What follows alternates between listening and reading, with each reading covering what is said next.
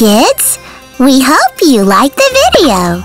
Subscribe for more videos. Thank you. Bye-bye.